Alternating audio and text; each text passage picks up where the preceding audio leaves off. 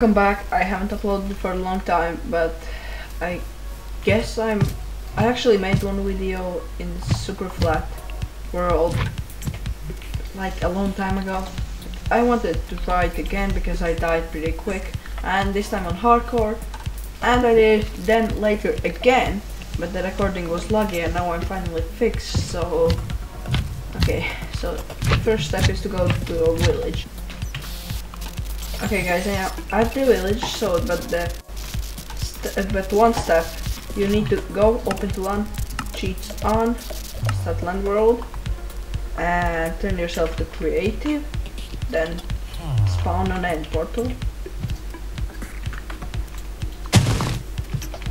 Then clear your inventory again and put back to survival and continue playing. Okay, so now I'm going in here. And I got some iron and roots. And a pick. So this is some good loot right here. So let's get some stuff and the coordinates. Okay, it's about you do need to remember the coordinates so you can later come back to the end portal if you somewhere